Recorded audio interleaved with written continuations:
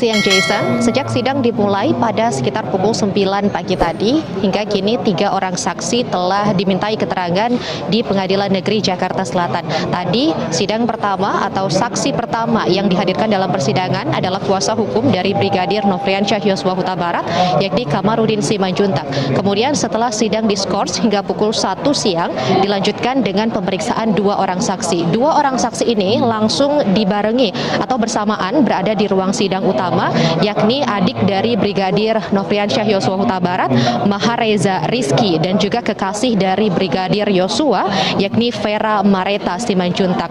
Tadi usai uh, sidang dimulai kembali, pertanyaan atau permintaan keterangan kepada Mahareza Rizky ini sudah dilakukan dan saat ini hakim atau uh, pengadilan ini tengah meminta keterangan dari kekasih Brigadir Yosua. Ada sejumlah hal yang ditanyakan kepada Vera Mareta Simanjuntak ini di antaranya tadi pertanyaan pertama adalah terkait kapan yang bersangkutan mengenal korban atau mengenal Brigadir Nofriansyah Yosua Huta Barat, kemudian sudah berapa lama menjalin hubungan dan apakah selama ini Brigadir Yosua ini setelah uh, dipindahkan ke Jakarta sering bercerita tentang tugas-tugasnya sebagai ajudan dari keluarga Ferdi Sambo. Menurut keterangan dari Vera Mareta Simanjuntak bahwa ia dan korban ini sudah kenal selama 8 tahun sejak dirinya masih SMA. Kemudian Brigadir Yosua ini merantau ke Jakarta atau pindah ke Jakarta sekitar tahun 2019 dan kemudian menjadi ajudan dari keluarga Ferdi Sambo.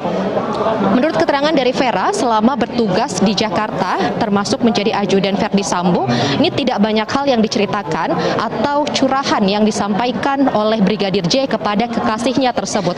Namun pada bulan Juni 2022 atau sekitar tiga minggu sebelum uh, terjadinya kasus penembakan pada awal Juli lalu, memang Brigadir Noviansyah Yosua Huta Barat ini sempat mengeluhkan sesuatu. Ia mengatakan bahwa dirinya sempat memiliki masalah. Hal ini diungkapkan pada tanggal 21 Juni 2022 dan bahkan sebelumnya sekitar uh, dua hari sebelum ia menyatakan ada masalah, tanggal 19 Juni tepatnya, ia meminta maaf kepada Vera Mareta Simanjuntak tersebut. Bahkan dalam percakapan sesaat sebelum ia meninggal dunia akibat dari penembakan tersebut, Brigadir Yosua ini sempat meminta untuk putus hubungan bersama dengan kekasihnya tersebut. Hal ini pun saat ini tengah dibahas dan disampaikan oleh Vera Mareta Simanjuntak saat memberi keterangan terkait dengan hubungannya dan juga masalah yang dimiliki oleh Brigadir Yosua sesaat sebelum uh, kematiannya tersebut. Bahkan Vera ini menangis di persidangan dan saat ini pengadilan masih terus meminta keterangan dari yang bersangkutan. Menurut keterangan dari Vera, selama menjalin hubungan, termasuk saat e, menjadi ajudan dari Verdi Sambo, ini kekasihnya tersebut yakni Brigadir Yosua tidak banyak bercerita atau mengeluhkan sesuatu. Bahkan ketika ia menyatakan atau menceritakan memiliki masalah, ketika ditanya balik oleh kekasihnya, ia pun tidak mau bercerita. Ia enggan menceritakan detail terkait dengan hal tersebut, termasuk alasan ia meminta putus status dari Vera Mareta Simanjuntak. Hal ini yang masih terus uh, berupaya untuk digali keterangannya dari pihak pengadilan. Sementara sebelumnya untuk Mahareza Rizky yang merupakan adik dari Brigadir Yosua ini sejumlah uh, pertanyaan yang diajukan adalah terkait dengan hubungan karena Mahareza ini juga memiliki profesi sebagai seorang polisi yang bertugas di Yanma Polri. Ia dimintai keterangan sejauh mana pengetahuannya terkait dengan hubungan antara Brigadir Yosua Huta Barat bersama dengan uh, keluarga Verdi Sambo termasuk Putri Chandrawati. Juga bagaimana kondisi jenazah ini saat tiba di Jambi dan diserahkan kepada pihak keluarga. Jason? Ya, Liz, poin penting apa dari keterangan saksi korban di persidangan hingga saat ini?